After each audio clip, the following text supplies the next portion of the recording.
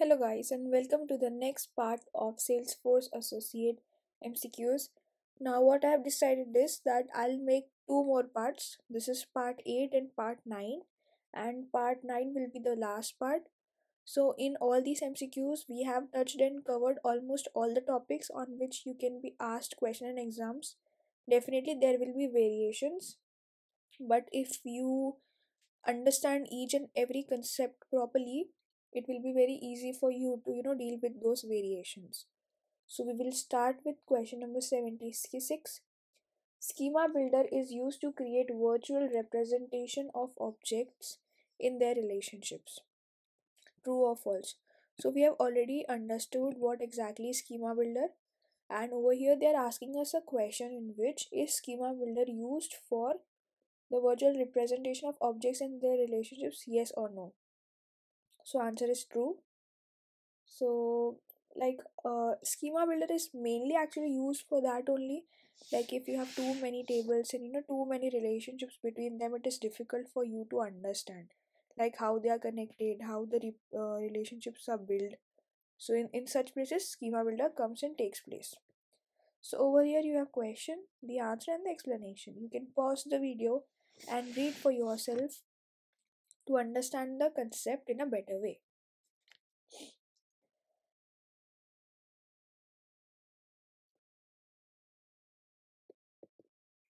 Question number 77.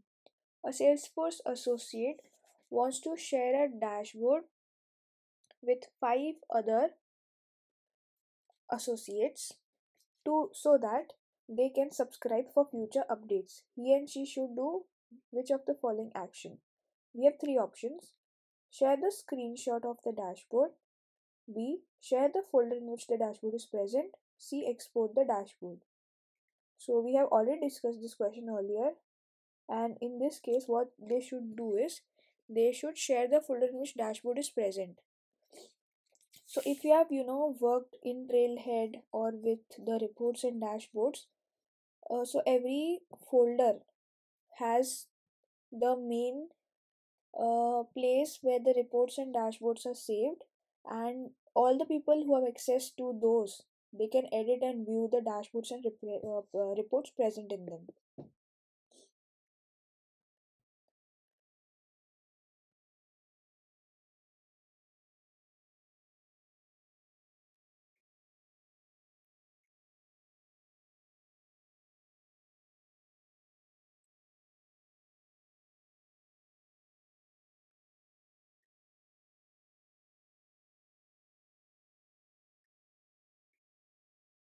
so it is just like you know google drive which you have used earlier.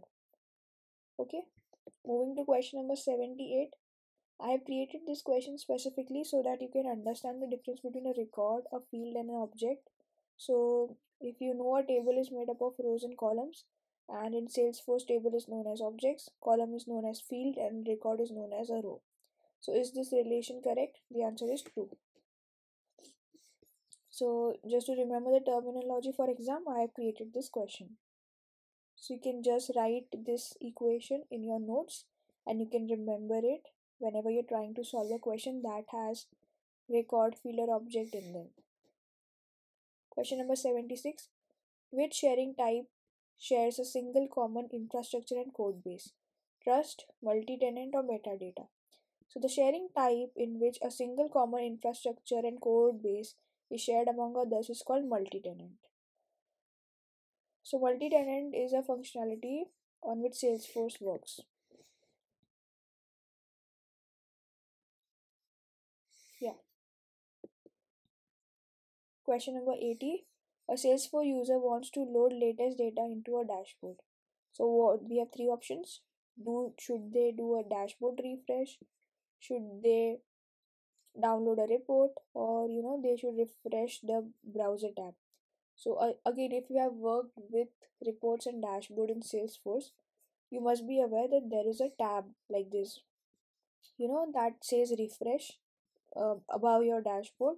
So whenever you click that refresh the dashboard will be updated for all the users not only for you. So what it will do is it will reload the data from the report and it will uh, uh, adjust the visual representation that is the dashboard accordingly.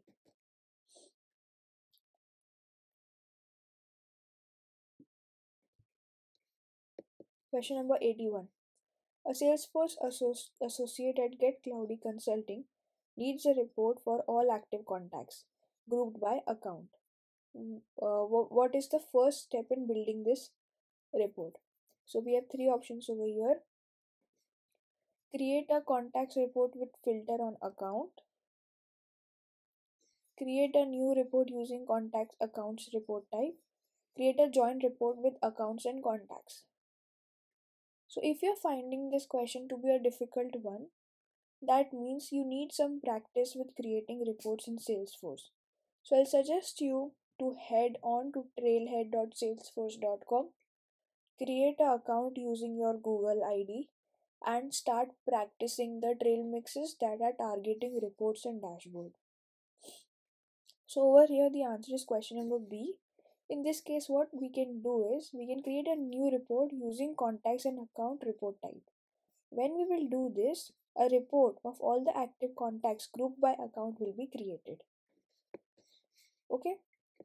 So this is what it looks like like you have multiple you know report type and among this report type contacts and account is one of them. So when you will click on it it will give you all list of all the active contacts grouped by account. Okay? Moving ahead to question number 82 in salesforce deals progress are known as. So in salesforce when we have you know deals are going on and in they are in progress. So such deals that are in progress are called as lead contact opportunity or deal or definitely they are not called as deal. They're also not called as lead or contact. They are known as opportunity. So over here the explanation has been provided. Apologize for my bad you know voice. I am having a very uh, bad throat. I have cold and cough. So yeah in salesforce deals uh, in progress are known as opportunity and the explanation is a potential customer is known as a lead okay? So what is a lead? A potential customer. When a deal with a lead is work in progress it's called an opportunity. So whenever you see the word lead it's potential customer and whenever you see the word opportunity it is deal in progress. Question number 83 a Salesforce associate is learning to use page layout. He wants to collaborate with other developers who are working on the same to implement the solution in a faster manner. Where should he navigate to find other Salesforce associate to collaborate with? So over here the answer is question is basically if XYZ person is using Salesforce and for any reason if he wants to collaborate with someone who is also doing salesforce where he or she should go. So we have three options. Ask a question in a trailblazer community group. Explore documentation on salesforce help.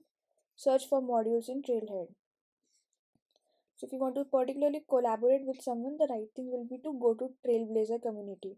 So this community is mainly created for such causes where someone who wants to collaborate with a human they don't want to read a documentation they don't want to learn something they just want to talk to human and get a perspective or you know create friends who are doing the same thing. So in such cases trailblazer community comes into place. Even if you have a question or you are trying to develop something on salesforce and you know you want to see if other people are also facing the same problem or they have same suggestions you can also go to trailblazer community and work it out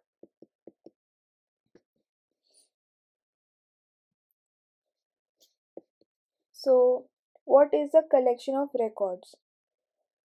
So, we have three options over here opportunity, objects, or leads. So, collection of records is called as objects, which is also a table in Salesforce.